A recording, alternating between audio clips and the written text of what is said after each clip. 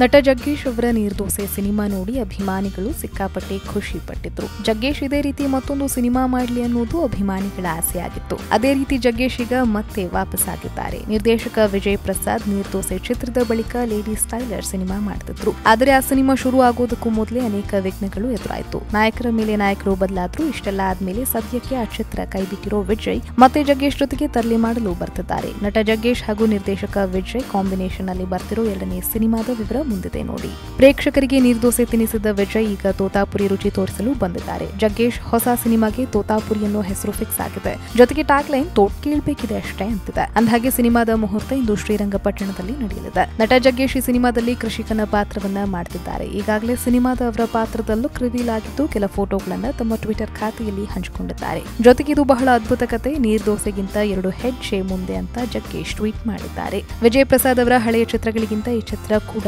ನೋಡುವವರಿಗೆ ಒಳ್ಳೆಯ ಮಜಾ ನೀಡಲಿದೆಯಂತೆ. ಈ ಬಾರಿ ವಿಭಿನ್ನ ಕತೆ ಆಯ್ಕೆ ಮಾಡಿಕೊಂಡಿರೋ ವಿಜಯ್ ಪ್ರಸಾದ್ ಮತ್ತೆ ಕಾಮಿಡಿ ಡ್ರಾಮಾವನ್ನ ಹೇಳಿದ್ದಾರೆ ವಿಜಯ್ ಪ್ರಸಾದ್ ಸಿನಿಮಾ ಅಂದಮೇಲೆ ಡೈಲಾಗ್ಸ್ ಗಳಿಗೆ ಹೆಚ್ಚಿನ ಆದ್ಯತೆ ಇರುತ್ತೆ. ಸೊ, ಈ ಸಿನಿಮಾದಲ್ಲೂ ಜನ ಅದನ್ನ ನಿರೀಕ್ಷೆ ಮಾಡಬಹುದು. ತೋದಾಪುರಿ ಸಿನಿಮಾವನ್ನ ಕೆ. ಸುರೇಶ್ ನಿರ್ಮಾಣ ಮಾಡ್ತಿದ್ದಾರೆ. ಈ ಹಿಂದೆ ಅವರು ಶಿವರಾಜ್ ಕುಮಾರ್ ನಟನೆಯ ಶಿವಲಿಂಗ, ರಾಜು ಕನ್ನಡ ಮೀಡಿಯಂ, ಗೋವಿಂದಾಯ ನಮಃ, ಶ್ರಾವಣಿ ಸುಬ್ರಹ್ಮಣ್ಯ ಹಾಗೂ ಆರ್ ಸೂರಿ ಸಿನಿಮಾಗಳಿಗೆ ಬಂಡವಾಳ ಹಾಕಿದ್ರು. ನಟಿ ಸುಮನ್ ರಂಗನಾಥ್ ಈ ಚಿತ್ರದ ಪ್ರಮುಖ ಪಾತ್ರದಲ್ಲಿ ನಟಿಸಲಿದ್ದಾರೆ. ಈ ಹಿಂದೆ ವಿಜಯ್ ಪ್ರಸಾದ್ ನಿರ್ದೇಶನದ ಸಿದ್ಲಿಂಗು ಹಾಗೂ ನೀರ್ದೋಸೆ ಸಿನಿಮಾದಲ್ಲೂ ಸುಮನ್ ರಂಗನಾಥ್ ಕಾಣಿಸಿಕೊಂಡಿದ್ರು. ಇತ್ತೀಚೆಗೆ ಡಬಲ್ ಇಂಜಿನ್ ಚಿತ್ರದ ಒಂದು ಪಾತ್ರದಲ್ಲಿ ಸುಮನ್ ರಂಗನಾಥ್ ಅಭಿನಯಿಸಿದ್ರು. ವಿಜಯ್ ಪ್ರಸಾದ್ ಅವರ ತಂಡದ ಕಾಯಂ ಸದಸ್ಯ ಅನೂಪ್ ಸೀಲನ್ ಈ ಚಿತ್ರಕ್ಕೆ ಸಹ ಸಂಗೀತ ನಿರ್ದೇಶನ ಮಾಡಲಿದ್ದಾರೆ. ಶ್ರೀರಂಗಪಟ್ಟಣ ಹಾಗೂ ಮೈಸೂರು ಭಾಗಗಳಲ್ಲಿ ಸಿನಿಮಾ ಶೂಟಿಂಗ್ ನಡೆಯಲಿದೆ. ಮೊದಲ ಹಂತದ ಚಿತ್ರೀಕರಣ ಹದಿನೈದು ದಿನಗಳ ಕಾಲ ನಡೆಯಲಿದೆಯಂತೆ.